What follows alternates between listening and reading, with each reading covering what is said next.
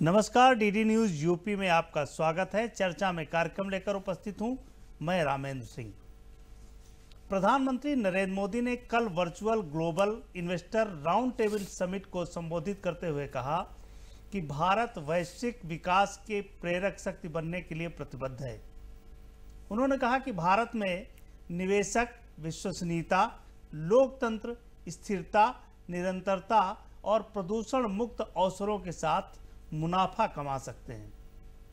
प्रधानमंत्री ने समिट को संबोधित करते हुए कहा कि हमारा आत्मनिर्भर भारत का लक्ष्य नियोजित आर्थिक गतिविधियों की रणनीति का हिस्सा है। भारत में कोविड 19 के दौरान 13 प्रतिशत विदेशी निवेश बढ़ा है। श्रम कानूनों तथा कृषि कानूनों में सुधार किए गए हैं। टैक्स रिफॉर्म समेत निवेश के लिए उद्योग के लिहाज से आवश्यक कदम उठाए गए हैं। जिसका भाव फ़ायदा भारत को मिलता हुआ दिख रहा है। आइए जानते हैं कि क्या फ़ायदा देश और प्रदेश को आने वाले समय में मिलेगा? क्या इससे भारत में निवेश बढ़ेगा? इस चर्चा में हमारे साथ दो लोग, दो मेहमान मौजूद हैं। डॉक्टर रहीस सिंह जी हैं, अर्थशास्त्री हैं और सिद्धार्थ कलान जी हैं, जो अर्थशास्त्र को जानते हैं और इसी की रिपोर्टिंग करते हैं। तो दोनों लोग ऐसे हैं जो आपको बताएँगे कि इसका क्या क्या फ़ायदा निवेश अगर बढ़ता है तो उसके क्या फ़ायदे होंगे डॉक्टर रही सिंह जी अगर सामान्य व्यक्ति को बताना हो तो जो विदेशी निवेश बढ़ेगा उसका उसके जीवन पर क्या प्रभाव पड़ेगा क्या फ़र्क पड़ेगा रामेश जी एक बहुत छोटा सा उदाहरण है कि अगर एक किसान है हम्म। और सपोज़ करिए वो एक एकड़ उसके पास ज़मीन है और वो खेती करता है हम्म। और उसमें निवेश के लिए उसको। दस हज़ार रुपए की ज़रूरत है लेकिन उसके पास दो हज़ार रुपए है या चार हज़ार रुपए है। और आप दो हज़ार में जितना वो कर पाता है हम्म। लेकिन आप एक समय ऐसा है कि आप उसे छह हज़ार रुपए एक्स्ट्रा दे दीजिए और हम्म। उससे कहिए कि ये आप खेती में लगाइए हम्म। और जो भी फ़ायदा होगा उसमें हम आप बांट लेंगे।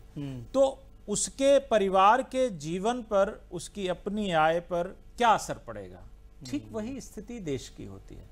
अगर वो चार हज़ार के निवेश में दस हज़ार का उत्पादन करता है हम्म। तो दस हज़ार के निवेश में वो कम से कम अट्ठारह हज़ार का उत्पादन करेगा तो उसमें जो उसके आठ हज़ार एक्सेस आए तो चार हज़ार परिवार को मिला हम्म। उसने अपनी जेब से कुछ नहीं लगाया हम्म। जो बाहर से आया था तो वो उतना बांट सकता है उनके भोजन में उनके वस्त्र में उनकी शिक्षा में उनके एजुकेशन में तो इस प्रकार से आप देखिए एक परिवार जो है वो खुशहाली और समृद्धता दोनों की ओर बढ़ता है वो प्रोग्रेसिव होता है और उससे वो तमाम लाइफ संबंधी उस स्तर पे चीज़ें खरीदता है ठीक यही वैश्विक परिदृश्य में देखते हो तो विश्व का और देश के परिदृश्य में देखते हो तो हम्म। देश का है जब देश एक कहता है कि एफडीआई हम ला रहे हैं या एफडीआई का इनफ्लो बढ़ता है हम्म। देखिए एक चीज़ और मैं स्पष्ट कर दूँ हम्म। कि एफडीआई का मतलब क्या है कि जो डायरेक्ट इन्वेस्टमेंट आता है हम्म। और डायरेक्ट इन्वेस्टमेंट का मतलब क्या है कि जैसे आप कोई प्लांट लगाने जा रहे हैं आपने हम्म। देखा होगा कारें कुछ होती हैं उसमें मारुति और सुजुकी लिखा होगा हम्म। इसका मतलब मारुति के ब्रांड में सुजुकी ने डायरेक्ट इन्वेस्टमेंट निवेश किया, किया निवेश किया है तो ये निवेश बाहर नहीं लौट करके नहीं जाता है वो भारत में ही क्रमबद्ध तरीके से अन्य अन्य क्षेत्रों में लगता रहता है तो ऐसा निवेश जो आ रहा है जो आपके इंफ्रास्ट्रक्चर में लग रहा है जो आपकी सिप बिल्डिंग खड़ी करता है जो आपका आ, बाज़ार में ले जाता है जो आपको रोज़गार देता है जो आपकी टेक्नोलॉजी को इंप्रूव करता है हम्म। और जो आपकी कमोडिटी को हम्म। और ज़्यादा प्रास्पेरस बनाता है हम्म। तो जरा इन सबको एक साथ सोच लें तो देश की आय बढ़ेगी देश में रोज़गार बढ़ेगा देश में इंफ्रास्ट्रक्चर मज़बूत होगा देश में एक शानदार डेमोक्रेसी क्योंकि जब तक रोज़गार नहीं मिलता डेमोक्रेसी पे लोग शंका करने लगते हैं। हम्म। वह भी प्रचालित होगी। और देश दुनिया के अंदर एक वैश्विक अर्थव्यवस्था के साथ हम्म। आत्मनिर्भर होकर आगे चलेगा।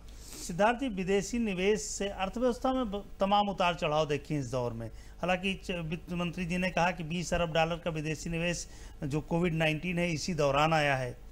भारत में सुधारों के प्रति प्रतिबद्ध है और विदेशी निवेशक इसे स्वीकार कर रहे हैं उन्होंने कहा है।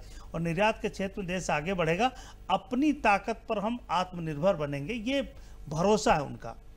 लेकिन जो विदेशी निवेश आ रहा है उससे अर्थव्यवस्था को किस तरह गति मिलेगी?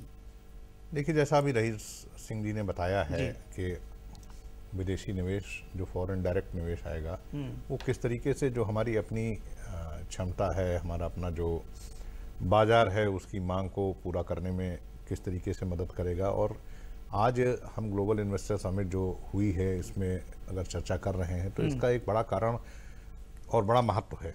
हम्म, महत्व इसलिए है कि जैसा अभी आपने आंकड़े बताए जो वित्त मंत्री ने भी बताए हैं पहले हम्म, कि तेरह फ़ीसदी की विदेशी निवेश में हमें वृद्धि मिली है। जी। और कोविड काल में। कोविड काल में। और उत्तर प्रदेश जैसे राज्य ने तो गजब का जो है प्रदर्शन कर दिखाया है। हम्म, उत्तर प्रदेश में इसी कोविड काल में छह महीने में 6,700 करोड़ की परियोजनाएँ शुरू हो गई। पैंतालीस हज़ार करोड़ रुपए के विदेशी निवेश के प्रस्ताव आ गए। और वो विदेश की वो कंपनियाँ जो अभी तक हमारे उत्तर प्रदेश में नहीं आती थी। हम्म, अभी दो दिन पहले जर्मनी की वैन हेलिक्स बड़ी फ़ेमस शू कंपनी है उसके दो प्लांट एक साथ जो है वो उन पर काम शुरू हो गया। प्रोडक्शन की शुरुआत हो रही है आगरा के समीप मथुरा से। तो आप ये देखें कि किस तरीके से हमने इस कोविड काल का अधिकतम लाभ उठाया है कि इस अवसर में बदला है, अवसर में बदला है जिस की बात कही जा रही थी कि आपदा को अवसर में। तो वो बातें कोरोना संकट के दौर में सुर्खियाँ बहुत सारी चीज़ें बन रही थी स्वास्थ्य की दिक्कतें थी प्रवासी मजदूरों की दिक्कतें थी रोज़गार पे जो संकट आया था वो सब तमाम चीज़ें वो भी चलता थी। रहा लेकिन ये लेकिन इस दौरान क्या हमने प्रगति कर ली जो हमारा एक साइलेंट पूरा अ, अ, काम चलता रहा और उस साइलेंट काम ने आज इस स्थिति पे ला दिया है कि हम आपसे एक दो दिन पहले ही चर्चा कर रहे थे कि उसका ये असर है कि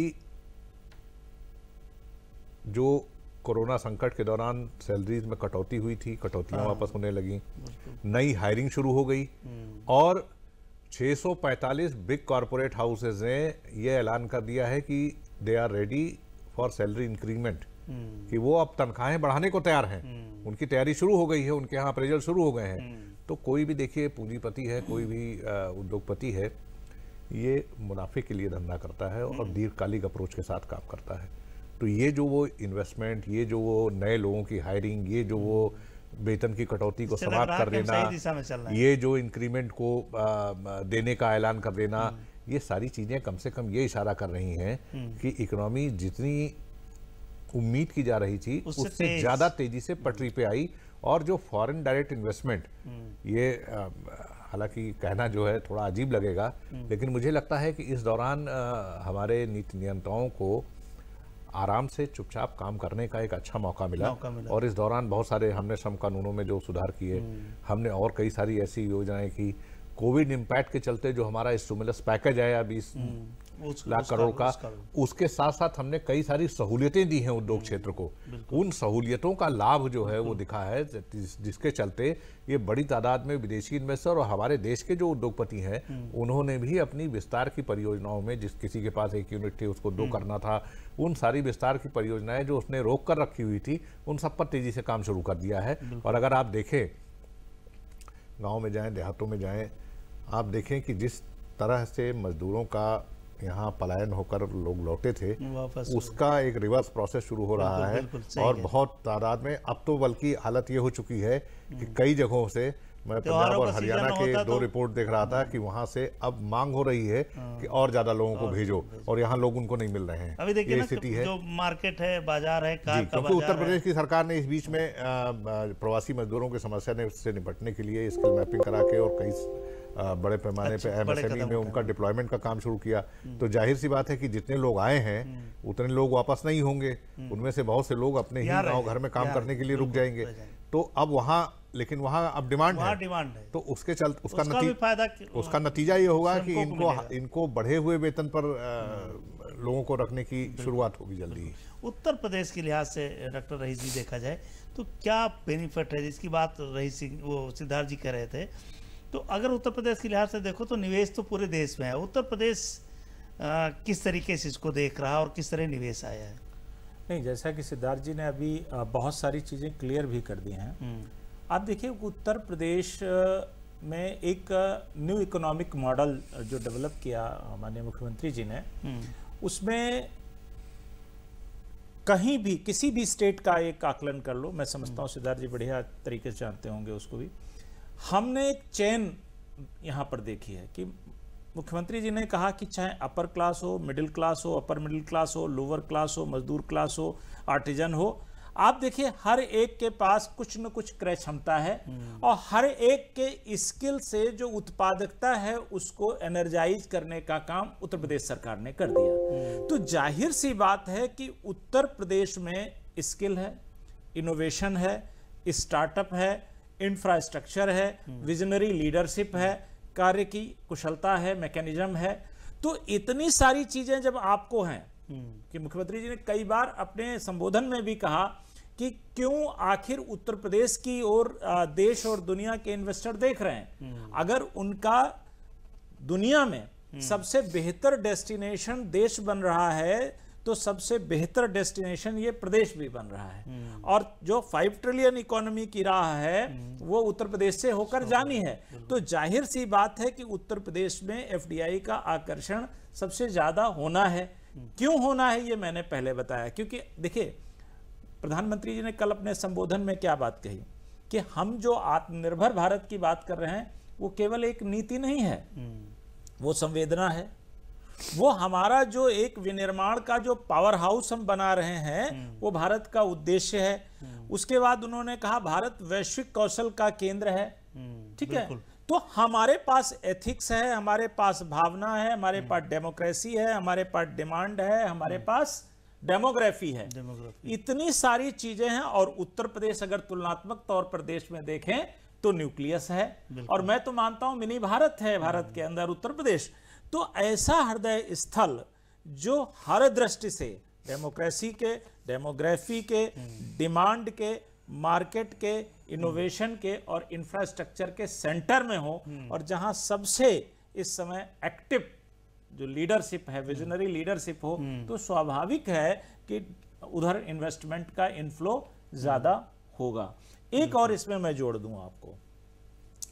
जो कल प्रधानमंत्री जी ने कृषि और कृषकों की भी बात करी। मैं समझता हूँ कि जैसा कि सिद्धार्थ जी अभी कह रहे थे आप उत्तर प्रदेश में देखें जो उत्तर प्रदेश में 38 लाख लोग आपके यहाँ मजदूर आए 38 लाख लोगों की स्किल मैपिंग कराना, उनका डेटा बैंक तैयार करना, उनके लिए एक कमीशन बनाना कि भी आप कहाँ जाना चाहते हो, वहाँ जाओ। हमारे पास आपका डेटा रहे ताकि आपको अगर कोई वहाँ इनसिक्योरिटी फीलिंग होती है, कोई चैलेंज आता है तो सरकार आपकी सुरक्षा के लिए खड़ी होगी। अब लेबर बाहर जाना नहीं चाहता, क्योंकि उसको यहीं पर रोज़गार मिल रहा है। दूसरा, आप देखें एमएसएमई को करीब आठ लाख के आसपास एमएसएमई में तीन लाख से ऊपर जो है न्यू और बाकी पुरानी उनको कर्ज देके आगे बढ़ाया गया और उसके साथ इन्हें जोड़ दिया गया। हम्म। तो ये जो डेवलपमेंट स्पीड आपने बनाई हम्म। ये डिमांड को बूस्ट कर रही है। तो हम्म। जहाँ डिमांड होगी जहाँ वॉल्यूम ऑफ़ मार्केट सबसे बड़ा होगा वहाँ निवेश जाएगा। तो इसलिए उत्तर प्रदेश के पास तो खूबियाँ ही खूबियाँ हैं आने के लिए और उन्हें आना ही होगा। कृषि क्षेत्र में तमाम सुधार किए गए हैं। श्रम कानूनों में भी किए गए हैं। कृषि क्षेत्र में बड़ा सुधार किया गया है। अगर इस लिहाज से देखें निवेश के लिहाज से तो कृषि क्षेत्र को क्या क्या संभावनाएँ कृषि क्षेत्र में दिखती हैं? देखिए ये आज से नहीं बड़ी लंबी बहस है। जब हमारे यहाँ आर्थिक सुधारों की शुरुआत हुई थी जी। तो एक जो 20 साल का जब टेन्योर पूरा हुआ है हम्म। उसके बाद ये कहा जा रहा था कि जो हमारा सेकंड फ़ेज़ होगा हम्म। हम मूव करेंगे टुवर्ड्स विलेजेस हम गाँव की तरफ़ जाएँगे। हम्म। क्योंकि यहाँ पर एक तरीके का सेचुरेशन का पॉइंट हम्म। आ रहा था। जी जी। अब हमारा जो कुछ भी है वो ग्रामीण क्षेत्र में ग्रामीण अर्थव्यवस्था की तरफ़ जो है हम्म। वहाँ पर डिमांड क्रिएट करना वहाँ पर रोज़गार देना रोज़गार देना वहाँ पर प्रोडक्शन का वहाँ पर कृषि में सुधार वहाँ पे फ़ूड प्रोसेसिंग इंडस्ट्री के साथ वहाँ पे मुनाफा कमाने वाली खेती की तरफ़ लोगों को ले जाना वो खेती जो लाभदायक साबित हो। बिल्कुल। इन सब क्षेत्रों में बीच में कुछ वजहों से कुछ आर्थिक संकटों की वजह से जो हमारा सेकंड फ़ेज़ ऑफ़ रिफॉर्म जो कि गाँव हम्म। की ओर होना था हम्म। उसमें थोड़ी रुकावट आई थी हम्म। या रुकावट आए या वो बड़ा उसकी रफ्तार थोड़ी मंद पड़ी थी इस दौरान ये हुआ है कि कोरोना के समय में कई बार ये लोकतांत्रिक देश में बैठे हैं कहना बहुत उचित भी नहीं है लेकिन लेस रेजिस्टेंस जो था उसके चलते कई सारी ऐसी चीज़ें थीं जो बड़ी तेज़ी के साथ लागू हो गई। प्रतिरोध जो है वो उसकी जो प्रतिरोध कम था और उसके चलते बड़े फैसले तेज़ी के साथ लागू। हो गए। हम्म। अब उम्मीद ये की जाती है कि जो भी हमारे पास फॉरेन डायरेक्ट इन्वेस्टमेंट आएगा या जो भी हमारे यहाँ एक विजनरी इन्वेस्टर जब आएगा तो उसकी निगाह शहरों पर कम और गाँवों की तरफ़ ज़्यादा होगी। शहरों पर कम और गाँवों की तरफ़ ज़्यादा होगी। आप देखें कि उत्तर प्रदेश में जो इन्वेस्टर समिट के बाद से लेके अब तक जो अलग अलग दौर में आ, या अलग अलग जो इन्वेस्टमेंट को लेके उत्तर प्रदेश में बातें हो रही हैं उनमें मैं ये देख रहा हूँ कि पहले हमारे पास एग्री सेक्टर में इन्वेस्ट करने के लिए अब कोई दो चार पाँच परसेंट हम लोगों के अखबारों में सुर्खियाँ बनती थी कि खेती किसानी के लिए पाँच फ़ीसदी या दस फ़ीसदी भी प्रस्ताव नहीं है आज की तारीख में बड़ी बड़ी कंपनियाँ बड़े बड़े समूह जो है वो आ रहे हैं। हम्म। दूसरा मैं एक आपको बताऊँ खास तौर पर मैं उत्तर प्रदेश का उदाहरण देना चाहूँगा। और शायद उत्तर प्रदेश की शुरुआत के बाद बाकी राज्य भी होड़ करेंगे उत्तर प्रदेश के साथ। हमारे यहाँ पहली बार ये तय हुआ अभी तक ठीक है एमएसएमई को सरकार अपनी तरफ़ से अभी डॉक्टर रही सिंह साहब ने बताया कि उन्हें हमने आठ लाख लोगों को कर्ज दिया है जो एमएसएमई है सरकार अपनी तरफ़ से कुछ प्रयास कर इस बार सरकार ने एक कदम आगे बढ़कर एमएसएमई को ग्लोबल कंपटीशन में हम्म। जिसे कहते हैं ना फेंकने की कोशिश की है कि हमारा जो छोटे मझोले वो हैं हमारे यहाँ जो हस्तशिल्प हमारे यहाँ जो एक जिला एक उत्पाद की जो अनूठी योजना है मतलब इन तमाम जगहों से बनने वाले जो हमारे उत्पाद हैं वो हम्म। विदेशी मार्केट में कम्पीट करने जाएँ हम्म। अब हो ये रहा है कि विदेशी मार्केट में जब हमारे कई उत्पाद ऐसे जब पहुँचे हैं हम्म। तो उन्हें बड़ा अच्छा रिस्पॉन्स मिल रहा है। तो ज़ाहिर सी बात है कि भाई जब निर्यात होगा जब तो हमारे सामान बाहर जाएगा तो उसका फ़ायदा आएगा। और और लोगों को जो और भी उस क्षेत्र में काम कर रहे होंगे ना उनको भी एक प्रेरणा मिलती है कि हम भी आ, हमारा भी सामान एक्सपोर्ट हो हमारी भी चीज़ें बाहर जाए। बहुत सारा अमेजन ईबे और तमाम सारे जो बड़े बड़े ऑनलाइन प्लेटफॉर्म्स है उन पर हमारे उत्पाद चले गए। अब मिर्जापुर और सोनभद्र और आदमगढ़ की पॉटरी से लेके तमाम सारी चीज़ें जो है वो अब उपलब्ध हो रही हैं तो मुझे लगता है ले सकता, ले सकता है तो मुझे लगता है कि इन प्रयासों से होगा ये कि ज़्यादा से ज़्यादा जो हमारा जो रूरल पॉपुलेशन है हम्म। वो एंटरप्रेन्योरशिप की तरफ़ इनकरेज होगी क्योंकि हम्म। देखिए एक प्रतिस्पर्धा भी होती है कि गाँव में अगर हमने देखा कि आप कुछ कर रहे हैं तो, तो लाओ हम भी ऐसा करते हैं हम्म। और अगर आप नेशन वाइड अगर इसका फ़ायदा देखें तो उत्तर प्रदेश अगर ये करेगा तो बाकी राज्य भी इसी तरह का अनुसरण करेंगे भाई उत्तर प्रदेश में ऐसा हो रहा है तो क्यों ना हमारे यहाँ ऐसा हो? जैसा कि हमारे यहाँ की ओडीओपी की कई राज्यों ने हम्म, अपने यहाँ ग्रहण कर रहे हैं। अपने यहाँ कर रहे हैं। हम्म। तो उस तरह से मुझे लगता है कि एक ये जो प्रतिस्पर्धात्मक माहौल हम्म। और विद एडिक्वेट सपोर्ट मतलब एक उपयुक्त उनको मदद के साथ एक प्रतिस्पर्धक प्रतिस्पर्धात्मक माहौल में जो उनको हम अपने छोटे मझोले ग्रामीण कुटीर उद्योग इनको उतारेंगे तो, तो उसका फ़ायदा एक बड़ा व्यापक होगा और बहुत बड़े पैमाने पर इसमें रोज़गार सजित बिल्कुल आज हम नाबार्ड गए थे तो जो ग्रामीण अंचल के लोग हैं उनके उन्होंने अपने अपने छोटे छोटे स्टॉल लगा रखे थे और उनका कहना था कि जो बाज़ार है वो छोटे व्यक्ति को हम बाज़ार दे रहे हैं, जो कुशल कारीगर हैं, और बाज़ार को हम कुशल, उस तक पहुँचा रहे हैं, जहाँ का सामान नहीं खरीदा जाता था। तो तमाम चीज़ें हो रही हैं, और सरकारी नीतियों में भी बड़ा परिवर्तन आया है। बढ़ता विदेशी निवेश, डॉक्टर रही सिंह जी, जो आत्मनिर्भर भारत की बात जो प्रधानमंत्री कह रहे थे, उसको मज़बूत न्यू देगा कि आने वाले समय में जो आत्मनिर्भरता की बात करें तो उस पर हम खड़े साबित होंगे और खड़े होंगे। रावण जी यहाँ दो बातें कहना चाहूँगा एक तो जो सिद्धार्थ जी अभी बात कर रहे थे हम्म। उससे जोड़ करके आपके हम्म। उसका आंसर मैं देता हूँ हम्म। हम लोग इतिहास के भी विद्यार्थी रहे टीचर भी रहे जो भी रहा आप अगर देखिए कि भारत के उत्पादों ने ही पूरी दुनिया में यानी पहली शताब्दी में ही एक प्लिनी जो है वो रुता है कि रोम से 55 करोड़ सेस्टर जो हैं वो जी जी भारत की ओर बहे चले जा रहे हैं। और दूसरी तरफ़ आप देखिए कि उसके बाद हम्म। जो अठारहवीं शताब्दी सत्रहवीं शताब्दी में आएँगे। हम्म। तो वहाँ डेनियल डिफो कहता है कि रो मतलब यूरोप के लोग क्या पागल हो गए हैं कि भारतीय कपड़े? हम्म, तो हम्म। आप देखिए उस समय ये कोई बहुत बड़ी कंपनियों के बने हुए कपड़े नहीं थे। बहुत बड़ी कंपनियों के बने हुए उत्पाद नहीं थे। यहाँ का मोती यहाँ की सीप यहाँ के चाकू यहाँ के छुरी यहाँ के सारी चीज़ें जो हैं ये पूरे यूरोप में तहलका मचाए हुए थे। तो एक तरफ़ आज आप देखिए कि उस पर काम हो रहा है। मिशन मोड पे काम हो रहा है। दूसरी तरफ़ जो इन्वेस्टमेंट आ रहा है एफडीआई की जिसकी बात आप करते हैं कि आप देखिए हमारे देश में अभी बहुत सारा हुनर है हम्म। बहुत सारा कौशल है बहुत सारी मेधा है। ये अभी अपने अपॉर्चुनिटीज़ को वो फ्रूटफुल उसमें नहीं बदल पा रही है। तो इसके लिए पूंजी चाहिए वित्त चाहिए। और वित्त के मामले में चूँकि अभी हम एक दुनिया के अगर उसमें परिदृश्य में देखें तो कमज़ोर हैं तो हमें बाहर से वित्त चाहिए। तो प्रधानमंत्री जी ने सबसे कहा क्या है कि भाई अगर आप विश्वसनीयता के साथ रिटर्न चाहते हैं हम्म, तो भारत, तो भारत आइए। दूसरा उन्होंने कहा अगर आप डेमोक्रेसी के साथ डिमांड चाहते हैं हम्म, तो आप तो भारत आइए। और टिकाऊपन के साथ हम्म। अगर स्थिरता चाहते हैं तो आप भारत आइए। यानी भारत के पास जो पुरानी थाती है या जो आज है हमारे पास मैंने पहले ही कहा डिमांड है डेमोक्रेसी भी है। हमारे पास टिकाऊपन है हमारे पास स्टेबिलिटी भी है हमारे पास रिटर्न देने में विश्वसनीयता यानी इकोनॉमी हमारी इतनी नीचे नहीं जाएगी क्योंकि हमने इतनी चेन्स डेवलप कर ली हैं कि हम्म। वो सारी चेन्स जो हैं वो हम्म। कभी टूटेंगी हम्म। नहीं तो ऐसी स्थिति में जब भी भारत में इन्वेस्टमेंट आएगा और मुझे लगता है प्रधानमंत्री जी की बात दुनिया सुनती है और जिस तरह की बातें कल उन्होंने अपने उसमें रखी तो वो भरोसा करके जो निवेश आएगा वो भारत की तस्वीर और तकदीर को काफ़ी हद तक चेंज करेगा ग्लोरीफाई करेगा हम्म। और मैं फिर कहता हूँ कि वो आत्मनिर्भरता का तात्पर्य प्रधानमंत्री जी ने पहले ही कह दिया है कि हम्म। आत्मनिर्भरता हमारी एक नीति नहीं है तो भारत की संवेदना है ना हम्म, बिल्कुल ये भारत का कौशल है जिसको हमें इसके ज़रिए आगे ले जाना, ले जाना है।, है तो मुझे लगता है उसमें वो सबसे ज़्यादा मदद करेगा सरकार की जो नीतियाँ हैं अब तमाम लोग विरोध विपक्ष भी कह रहा था तमाम और लोग थे जो कह रहे थे कि नीतियाँ सही नहीं अब लगता है कि जिस तरीके के हालात हैं जिस तरह निवेश आ रहा जिस तरह उद्योग आगे बढ़ रहा जिस तरह श्रमिकों को काम के अवसर मिल रहे हैं जिस तरह ग्रामीण भारत बदल रहा कि सरकार सही नीतियों पर काम कर रही है और सही दिशा में चल रही है।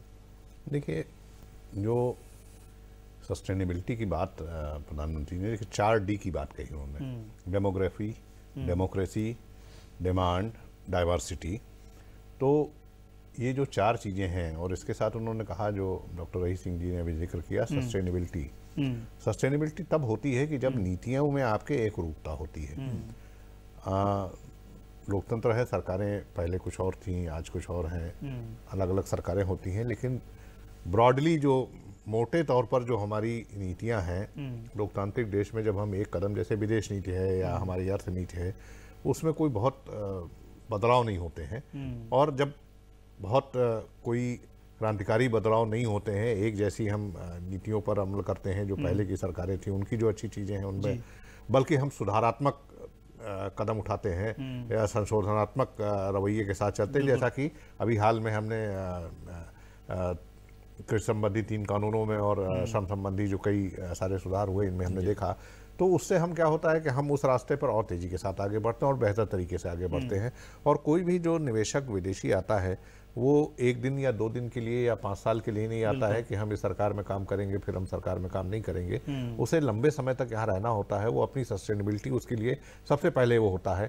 तो डेमोग्राफी हमारी सस्टेनेबिलिटी का एक बड़ा कारण तो ये दे देती है कि 130 करोड़ की ये जो पॉपुलेशन है इतना बड़ा कंज्यूमर बेस है इसके बाद फिर हमारा डेमोक्रेसी यानी डेमोक्रेसी में हमारा जो लोकतांत्रिक व्यवस्था है उसके तहत सरकारें आए जाती हैं लेकिन हमारी नीतियों में एक रूपता बनी रहती है। वो है डिमांड इसकी वजह से डेमोग्राफी की वजह से होती है और विविधता जो हमारी है वो हर तरह के बिज़नेस को आगे बढ़ने की ओवरऑल को लेकर के क्या है? मतलब छोटा सा कमेंट देखिए ओवरऑल में एक मैं सीधी बात कहना चाहूँगा कि प्रधानमंत्री जी का जो एक आत्मनिर्भर भारत का संकल्प है और प्रधानमंत्री जी का जो आह्वान है एफडीआई उन दोनों के पैरामीटर्स पर आ रही है आगे आएगी और उससे भारत का इंफ्रास्ट्रक्चर भारत की कंपेटिबिलिटी भारत की कंपटिटिवनेस और भारत की जो अपडेशन यानी मॉडर्नाइजेशन की जो शक्ति है वो इम्प्रूव होगी और भारत दुनिया में एक ताकत के रूप में आगे उभरने जा रहा है। बिल्कुल, अगर कोविड के दौर में पूरी दुनिया में इकोनॉमी नीचे जा रही थी, तमाम लोग बेरोजगार हो रहे थे,